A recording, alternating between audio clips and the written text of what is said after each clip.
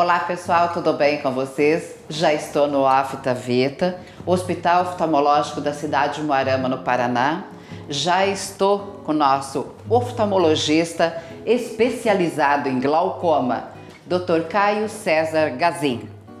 E vocês viram, já está aparecendo bastante, viu? Está no maior sucesso o nosso especialista aqui.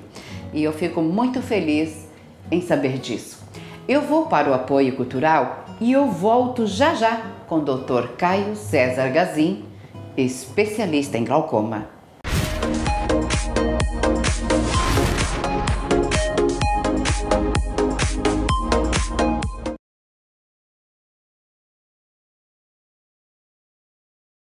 Oi, gente, eu sou a Ana Castela e eu vim contar que tá chegando a promoção Poupança Premiada Sicredi 2024. Minha filha, não esquece de guardar dinheiro.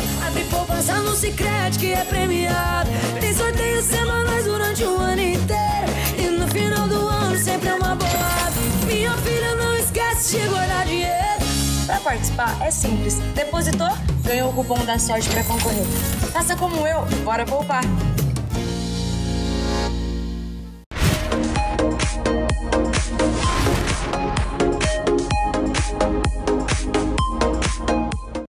Já de volta do nosso apoio cultural, agora vamos cumprimentar então o doutor e vamos ver como é que estão as coisas por aqui, né?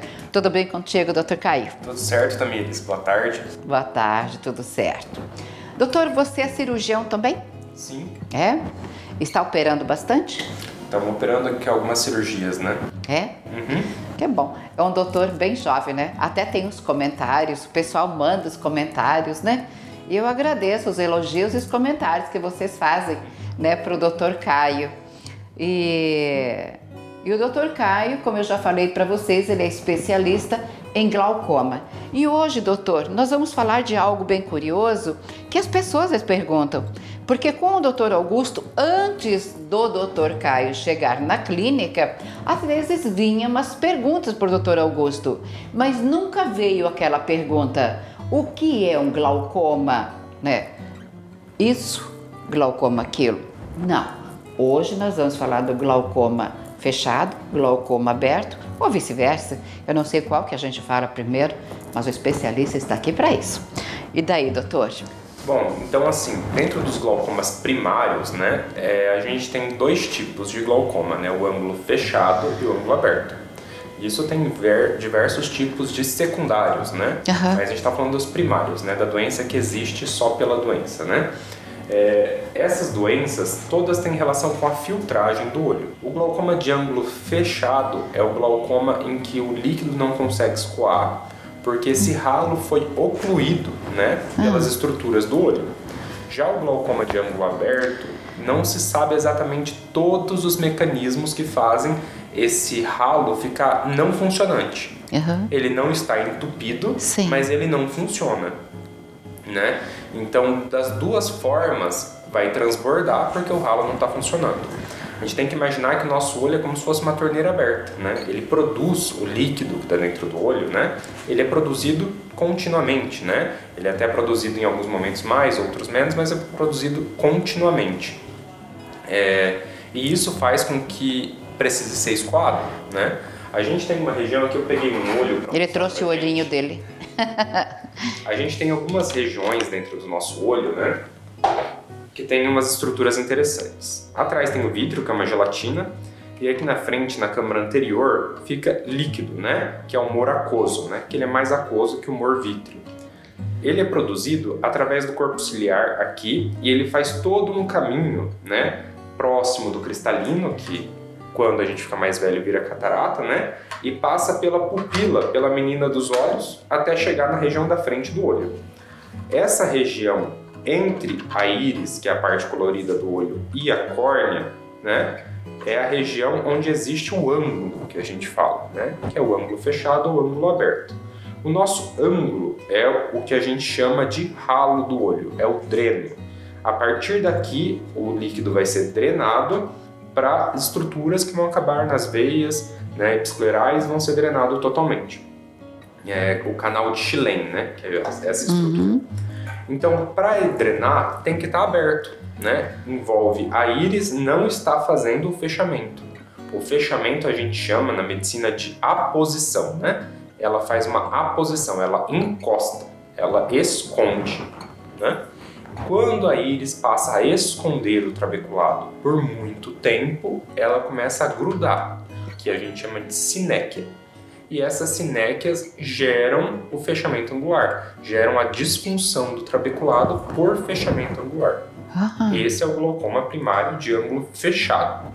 É a dificuldade do líquido que está na câmara posterior da câmara anterior para a região anterior da câmara anterior. Isso dificulta uh, o escoamento. O glaucoma primário de ângulo fechado de forma aguda, ele acontece quando esse fluxo é interrompido totalmente. Não é só pela interrupção e pela posição do trabeculado. Ele é interrompido totalmente aqui na região entre o cristalino, que é a catarata, e a pupila. Isso faz com que a íris empurre para frente e tudo se feche mais, né? Porque a gente precisa desse espaço aqui que a gente vê entre a íris e a córnea. Então eu sempre falo para os pacientes que ela fica inchada. Ah, ela fica inchada. E quando ela incha, ela tampa totalmente o nosso ralo. Esse é o glaucoma hum. agudo. E o que, que acontece? Que ela enche e tampa totalmente o nosso ralo, sobe muita pressão. Quando sobe muita pressão, não chega sangue para íris. E ela fica atônita, por hipóxia, né? como se fosse é, uma incapacidade dela se mexer. Então ela fica paradinha ali cada vez mais piorando esse glaucoma agudo. Por isso que perde a visão muito rápido, né? No glaucoma de ângulo fechado agudo. Já o glaucoma de ângulo aberto, a gente tem toda uma estrutura do olho preservado. Não existe um problema estrutural no trabeculado. Mas a gente vê o trabeculado, mas ele não funciona, né? A gente fala que é um glaucoma de origem trabecular, né? É de origem no ralo. Esse ralo tem alguma coisa que a gente não funciona muito bem ali tá? Então também o líquido não é escoado e a pressão sobe. Mas geralmente a pressão sobe de forma A pressão mais, ocular. Isso, mais lenta. Uhum. É, uma, é uma doença mais insidiosa, mais malandra, assim, né? Então ela não sobe de uma vez, não tem sintoma nenhum. Agora, quando acontece uma situação assim, já que já é grave, como o senhor falou, né? Tá porralinho, então quer dizer que é grave. Às vezes a pessoa demora tanto assim para chegar num profissional para ver o que, que, está acontecendo com a visão dele? Demora bastante. Ai, gente, que triste. Demora bastante, né? Às vezes não tem mais o que fazer? É. Geralmente é, são aquelas pessoas é, que enxergam bem, né? Que não é aquelas pessoas que não usam óculos. Então, geralmente demora para ir no oftalmologista, né? E no caso do glaucoma de ângulo fechado, geralmente acontece em pessoas predispostas que ficam ali, eu falo, cultivando a catarata, né? A visão é boa, tem medo de operar e vai deixando essa catarata, vai deixando até ser tarde demais, né? Porque a catarata, ela faz parte do processo do fechamento angular. Hum. A catarata é um tecido que é produzido continuamente durante toda a vida. Então, ela cresce para sempre. Então, nem sempre ela opacifica e tampa a visão, mas ela sempre cresce. E quando ela cresce, ela fica espremido ali o olho, né? Essa região que ela deveria deixar livre fica espremido. Então, quando a gente faz a cirurgia da catarata e tira ela, a gente tira um componente cristaliniano muito grande e põe uma lente no lugar que é bem fininha, aliviando o espaço. Nossa, agora fez a cirurgia, chegou meio tarde, né? Às vezes não tem muito o que fazer, né, doutor? Uhum. Mas a cirurgia é feita, tudo. A pessoa não tem como colocar uma lente intraocular e vai usar óculos. Como que fica todo esse processo daí? Então, assim, a gente tem dois casos, né? A cirurgia de catarata é feita para ângulo fechado, né? Ah. Nos dois casos levam à disfunção do trabeculado, que é o ralo do olho a gente tem que estabelecer qual que é a funcionabilidade desse trabeculado, ok? Chegou num glaucoma, a gente pode usar colírio, né? Quando é ângulo aberto, a primeira opção é colírio. Aqui na clínica a gente tem como primeira opção o laser, que é a trabeculoplastia. Vem trabeculoplastia de cirurgia plástica, né? É um laser que a gente dispara no trabeculado que tenta remodelar ele para ele voltar a funcionar. Isso para os ângulos abertos é uma ótima indicação para tentar fazer ele voltar a funcionar. Para ângulo fechado, tem que ser procedimento cirúrgico, ou catarata ou um furinho, que chama iridotomia, porque é uma doença primariamente cirúrgica, é uma doença que a gente tem que controlar o mecanismo de fechamento angular, porque ele é progressivo e ele é muito sério, como a gente já falou. Quando o trabeculado é muito acometido, não adianta colírio, porque os colírios ajudam um pouco na drenagem e bastante na diminuição da produção. O colírio é como se a gente fechasse a torneira. Mas não dá para fechar tudo, a gente restringe o fluxo com colírios. Uma vez que essa, esse ralo está totalmente entupido, não tem mais o que fazer. Né? A gente tem que transformar ou refazer um novo ralo, né? que é quando o paciente não responde mais a colírios. Daí a gente pode abrir mão de algumas técnicas cirúrgicas. Né?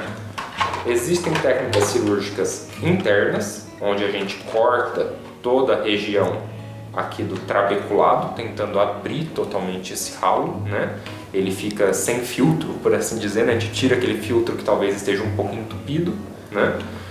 Agora, as técnicas mais tradicionais, a gente faz uma coisa que a gente chama de fístula. A gente tira o líquido que está daqui e passa para outra parte. Essa parte mais tradicional é a região que a gente chama de subtenoniana, que é entre a parte branca do olho e a pelezinha que recobre. Então a gente faz uma cirurgia grande, onde a gente corta toda a pelezinha que recobre de cima do olho, rebate ela, corta a esclera e faz um buraquinho. E daí quando costura, fica uma cirurgia que drena o líquido do olho para o lado de fora, que é o que a gente chama de bleb ou bolha. É a bolha, fica uma bolha. Sim. Agora, doutor, a, a pessoa é, com todos esses problemas, quem que é a idade mais acometida? Não tem idade? Tem idade, né? Geralmente as pessoas mais velhas são mais acometidas. São mais acometidas. Tá?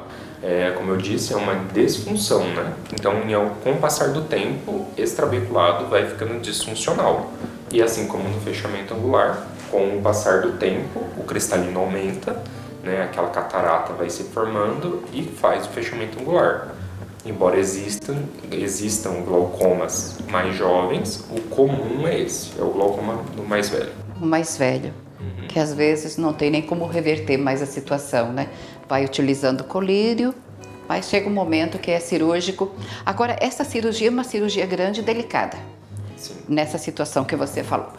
É feito aqui na clínica ou daí já é um motivo de hospital? Não, a gente faz tudo aqui. Tudo aqui na, na Ofta Vita. Isso. Embora sejam cirurgias grandes, a gente consegue fazer com anestesia próxima ao globo ocular. Né? Uhum. A gente chama de anestesia peribulbar. A gente, o anestesista, né, no caso, coloca a agulhinha ou aqui no canto do olho, embaixo, e coloca anestésico na parte posterior, que anestesia tudo, inclusive tampa a visão, né, porque anestesia o nervo óptico. Sim. Ou coloca no lado anestesia, também para chegar atrás do olho. Sim.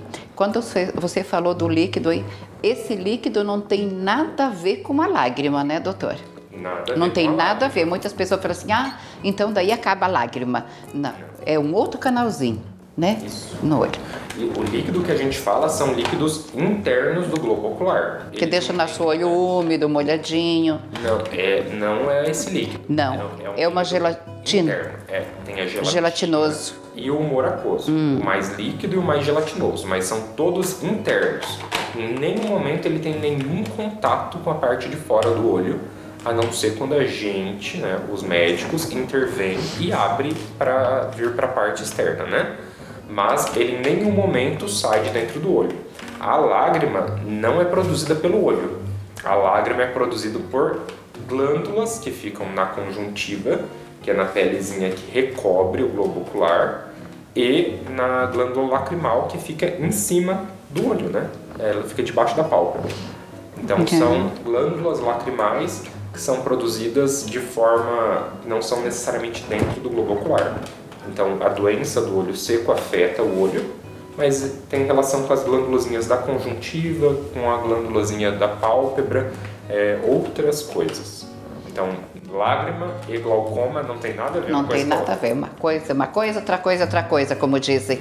Doutora, eu vou te deixar bem à vontade para você deixar um recadinho bem especial a respeito deste assunto para as pessoas em casa. É, assim, independente do sintoma que vem tendo, né? seja um sintoma de olho seco, né? Igual a gente falou, a lágrima não tem nada a ver com o olho, uhum. mas o olho é difícil de estabelecer qual é o sintoma. Às vezes o sintoma de olho seco está acontecendo por momentos de pressão mais alta. Às vezes o embaçamento visual que pode parecer glaucoma é um sintoma de olho seco. E apenas o oftalmologista vai poder te dizer e te guiar por esses caminhos, tá? É, precisa passar pelo oftalmologista para ele tentar identificar quais são os quadros, né? A gente fala síndromes, né? Aonde que está o caminho que tem que trilhar para sua doença ou para estabelecer a sua saúde ocular. Não tendo sintoma, tem que lembrar que tem que ir no oftalmologista. Sempre. As doenças do olho são graves em quem enxerga bem. Muitas vezes quem não enxerga bem não chega a ter um problema grave porque vai no oftalmologista. Quem enxerga bem é quem está mais comprometido, né? Mais assim, quem enxerga bem está mais em risco porque ele não procura ajuda. Quando ele vai procurar ajuda, pode ser tarde demais. Então, mesmo quem enxerga bem, vá fazer o seu check-up, vai dar uma olhadinha, ver se continua tudo bem mesmo. É, o check-up não é só o corporal esquecer, às vezes esquece do neuro, esquece do oftalmologista, né? Uhum. Acho que é só o corpo, né? Aparelho digestivo, coisa parecida. Qualquer anormalidade, procure seu oftalmologista. E na cidade nós temos uma clínica maravilhosa com especialistas. Não percam tempo. Doutor, muito obrigada pelo carinho, pela atenção. Obrigado também por esse espaço aqui para a gente conversar sobre coisas tão sérias, né, tão importantes. Verdade. Eu volto com o doutor, é, tanto o doutor Caio quanto o doutor Augusto, com o doutor Paulo. Tem outros profissionais que eu quero estar apresentando para vocês também, mas nós estamos lá no YouTube, lá no meu canal, Programa da Tamires. Se inscreva, dá um joinha lá pra gente. E se quiser, pode deixar a pergunta por lá também, né? Deixe por lá. Ou tem o meu WhatsApp de trabalho que está aí no rodapé do vídeo. Então, sintam-se em casa e acolhidos. Oftaveta sempre ao seu lado, para atender com amor, com carinho e pelos especialistas. Até uma próxima, doutor. Até mais. Eu vou para o apoio cultural e eu volto já já porque tem uma matéria bem interessante para vocês.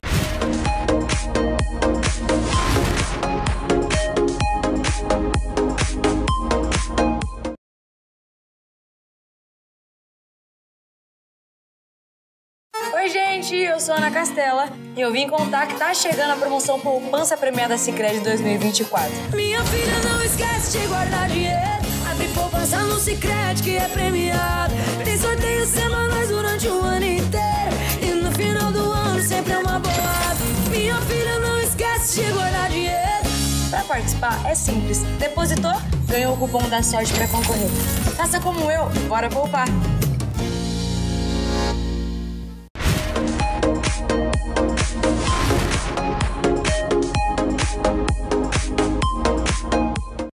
Eu já estou com a Silvia Ribeiro Martins, a vice-presidente da Casa da Paz. A Casa da Paz, eu sempre falo, eu sou madrinha da Casa da Paz, então eu me sinto no direito de sempre divulgar tudo que acontece por lá. E isso já faz anos, né, Silvia? Muitos anos, hein? Já perdi a conta, Tamires. então eu faço isso sempre. E a Silvia Ribeiro Martins está aqui porque ela tem convites a fazer para vocês. Gente, eu gosto de um bazar, vocês gostam? e vai ter outro. Tudo bem contigo, Silvio? Tudo bem, Tamires, graças a Deus. E daí, Silvio, nós temos mais um bazar. E o danado em tudo isso, gente, é o bazar de um real? Todo início de mês nós fazemos o bazar na garagem, aí é tudo um real mesmo. Todas as roupas, só roupa, tá, Tamires? Sim. Todas as roupas que estiverem na garagem é um real. E, e, um detalhe importante que eu gosto de frisar sempre. Sempre pode Não falar. é descarte, não é refugo, é só mesmo um, para baixar o nosso estoque, para favorecer as pessoas, para ser um, um é um excesso. Mas Você precisa de espaço. Mais conhecido, espaço, exatamente. Graças a Deus nós recebemos muita, muita doação. E nós temos um estoque fabuloso. Então, esse ano, desde o primeiro mês, essa já vai ser a oitava edição do Bazar na Garagem, que é o Limpa Estoque. O último Bazar na Garagem, como que foi? Olha, em todos eles nós vendemos entre mil e mil e oitocentas peças, porque é o que tem rendido o bazar, então fica fácil, porque é tudo um real, né? Agora imagina. Fica fácil de saber. 1.800 reais no bazar. A um real. 1.800 pessoas. Ou É, mil- pessoas que levaram muito. Sabe o que, que acontece? Tem pessoas que vão no bazar. Vamos imaginar o bazar que a Silvia faz, o bazar garagem. Tem pessoas que vão lá, compram 150, 200 reais e elas doam essas roupas. Exatamente. Na verdade, Silvia. É para doação, para revenda. Uhum. Na época daquela tragédia no Rio Grande do Sul, várias pessoas compraram e mandaram para lá. Inclusive bom. nós também mandamos, sabe? Então você tem que ver que é é uma média aí, é- são mais de mil peças todos os meses, tudo ali a um real. Ótimo. A e, e sábado começa que horas e vai até que horas? Começa lá entre 8h30 e 8h40, é o tempinho delas Uhum. ajeitarem ali para abrir, né? Que elas estão lá a partir das 8 e vai até as 4h30. 16h30, fica lá o dia todo. Ah. Dia todo. É porque o pessoal que trabalha tem a oportunidade de ir né, ali logo após o almoço. Quem está no comércio já sai do trabalho, já passa por lá, bem tranquilo. Pessoal, isso não é só para a população de Umuarama, é para todos os municípios que queiram né, vir para este bazar. E lembrando vocês, não é aquela roupa que está toda rasgada, não. Elas, a Silvia tem uma equipe tão grande que quando chega, né, chegam as peças no bazar, fazem uma triagem dessas peças, então usável, e daí também tem aquelas que você dá um outro destino também, Sim. né, Silvia? É, nós Nada vai usamos- pro lixo. Não, não vai para o lixo. Nós fazemos as estopinhas, se for tecido de algodão, que são usados nas, nas oficinas. As, os jeans que não são usáveis, corta os pedaços, faz sacola, aquela sacola retornável para ir no mercado, eliminar os plásticos. É, tapetes, coisas assim, com, as, com os de brim, com os jeans. Então nada vai para o lixo. Isso. E, e- aproveitamos aí, cuidamos um pouquinho na- o que é possível do meio ambiente, favorecemos as pessoas de menor poder aquisitivo e é uma renda para a Casa da Paz, para a gente manter nosso trabalho lá, que está a todo vapor. Silvia, vamos deixar já o endereço, né? Porque eu vou entrar em outros assuntos para não correr o risco de esquecer. Então, vamos passar Isso esse endereço. mesmo. O nosso bazar fica na Avenida Rio de Janeiro, 4453. Fica bem pertinho ali da conhecida Praça Japão, né, que é, na verdade é a Praça JK, bem no centro de Moarama. Excelente. Agora vamos então para outra situação. Vamos falar de festa. No sábado mesmo, no mesmo sábado, agora, dia 10 de agosto, nós vamos ter o nosso festival de férias, depois das férias. É, por alguns imprevistos, a gente não conseguiu fazer no mês de julho. Já é tradicional também, a gente já faz isso há 20 anos. Então, nessa oportunidade, é, sempre é feito ali naquela última semana de julho, que as crianças estão em férias. Nós temos uma programação toda especial com eles lá na Casa da Paz. São brincadeiras, gincanas, festas, passeios, né? Eles vão para os bosques, para as nossas praças. E no finalzinho do mês a gente faz o Festival de Férias, que esse ano escorregou e vai ser agora dia 10 de agosto. Então nós temos a apresentação das nossas crianças, né? É música, karatê, é, canto, teatro. Nesse ano já vai ser a véspera do Dia dos Pais, já vamos fazer homenagem do Dia dos Pais. E também temos convidados especiais. Então vai ter o pessoal da dança flamenca lá, a professora Estela do IFPR, vai ter a Carla Donadoni com a equipe dela de teatro da, da fundação. Então a gente tem várias outras apresentações nesse dia. Então é, um- é uma tarde bem gostosa. É lá no Santuário Nossa Senhora do Perpétuo Socorro, tem um auditório, né? A paróquia cede gentilmente para nós todos os anos. E aí eles ficam a partir das 14 horas. 14 horas em ponto nós começamos. Tem todas essas apresentações e no fim da tarde a gente faz um happy hour lá com os pais, os, os convidados, todos que estiverem presentes. Ai, que bacana, gente. É uma tarde toda de comemoração. Ótimo. E continuando, né? Quando a Silvia vem no programa da Tamires, ela traz muitas novidades. Nós temos feijoada. É, Gente, eu não- amo feijoada. a Silvia não perde tempo, aproveita a oportunidade que a Tamires nos dá. Então nós vamos ter a feijoada. Então tudo está um pouquinho para frente, né? A feijoada que era em agosto, então vai ser em setembro. né?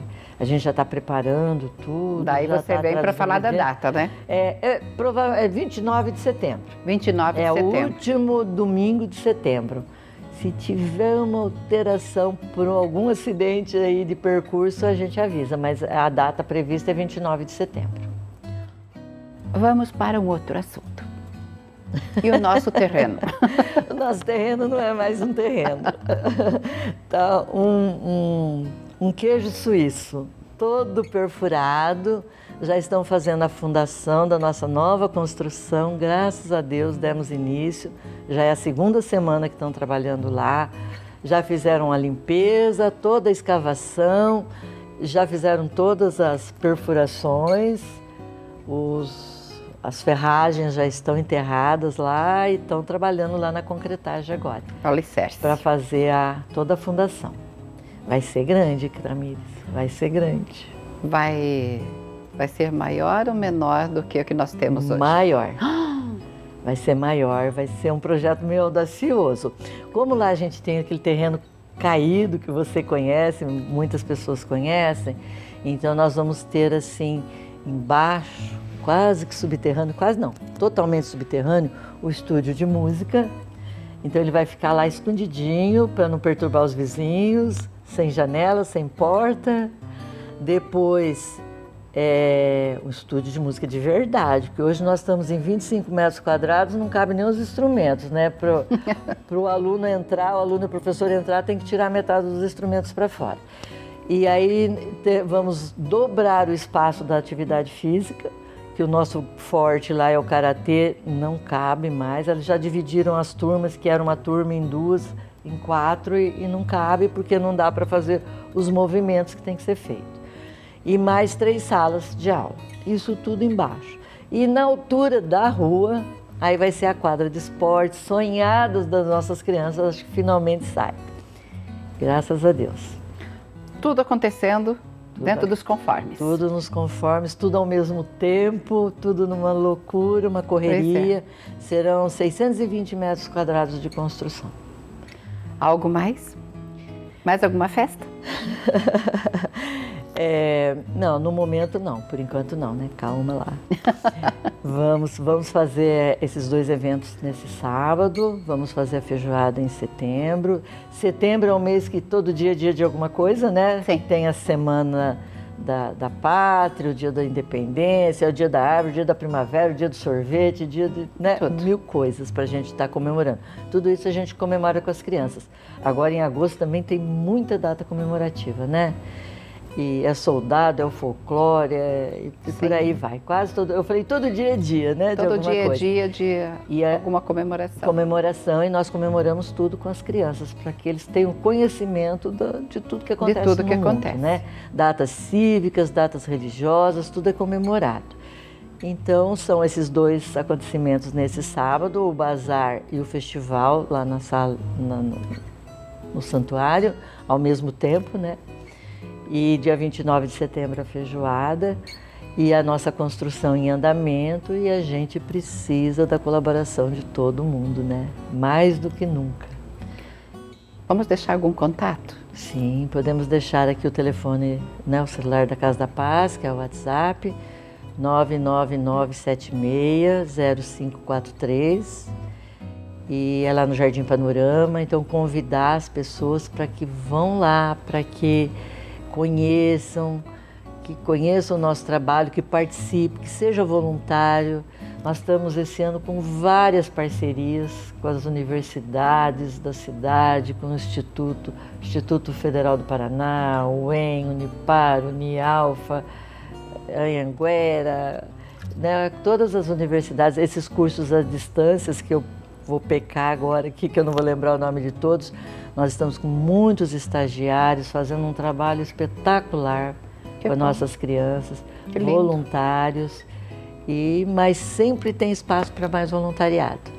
em todas as áreas, com as crianças, no bazar, no administrativo, na cozinha. Tem trabalho para escolher. Ótimo. Silvia, muito obrigada por ter vindo mais uma vez e deixar aí todos esses convites, né? Esse, esses recados importantes da Casa da Paz. Nós é que agradecemos, Tamires, essa oportunidade maravilhosa que você nos concede com muita frequência e que Deus abençoe né, você e a todos nós e vamos em frente. Estamos aqui para somar. Amém. e o programa da Tamires chegou ao final mais uma vez. Obrigada pelo carinho e atenção de vocês. Eu volto a qualquer momento com muito mais informações para vocês, porque o programa da Tamires é informativo. Ah, lembrem sempre que o programa da Tamires, eu tenho meu canal lá no YouTube, você sabia? Que é o programa da Tamires. Quiser procurar alguma coisa, é o programa da Tamires. Então estamos lá. Dê um joinha, curta o nosso trabalho e veja todas as matérias que a Silvia já passou por aqui e deixou, deixou os recados, para que você possa acompanhar toda a história da Casa da Paz. Como era, como está e como ficará. Hum, vai ser uma coisa linda, maravilhosa. Vai ser uma benção. Beijos e abraços, que Deus te abençoe grandemente. Tudo de bom. Eu volto a qualquer momento.